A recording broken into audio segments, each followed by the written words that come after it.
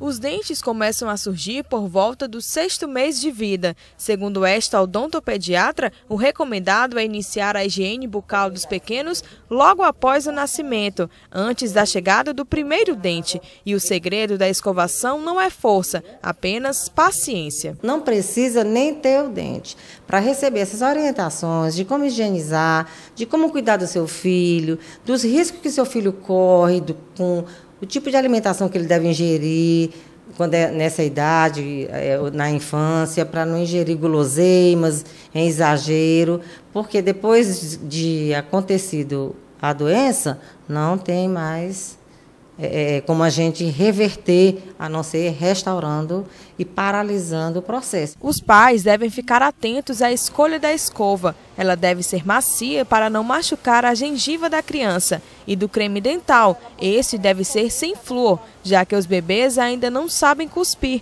e a substância pode fazer mal. Cabe aos pais limpar toda a boca do bebê com uma fralda. Os pais devem usar uma fraldinha umedecida é o mais indicado. Molha a fraldinha com água fervida, isso é muito importante, não usar água da, da pia, né? Água fervida e passa na mucosa todinha da, da bochecha, da língua, para tirar aquele resíduo de leite. Letícia Sampaio tem apenas dois anos. Esta é a segunda visita dela ao dentista. O pai, João Ricardo, sabe a importância de iniciar cedo o cuidado com a saúde da boca. A Letícia sempre teve essa preocupação, sempre tivemos a questão prioritária da higiene da boca.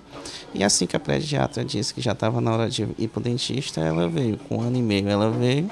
E agora, seis meses depois, ela vem para a segunda visita, com dois anos. Hoje, com seis anos, Matheus Godinho já escova os dentes sozinho, por incentivo da mãe, que desde cedo seguiu as recomendações da dentista. Matheus Silva tem dois aninhos e adora escovar os dentes. A mãe desenvolveu uma técnica que faz do momento da escovação uma grande brincadeira. Assim que termina os dentes do Matheus, ele escova os dentes do leão de Agora brinquedo. você escova o seu dentinho, vai.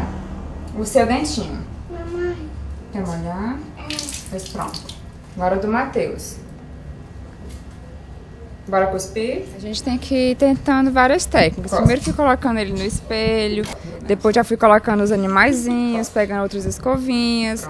Sempre tentando adaptar para fazer um momento de diversão, não só a obrigação de escovar. E aí hoje ele já escova três vezes ao dia, direitinho, já deixa normal e sem problemas.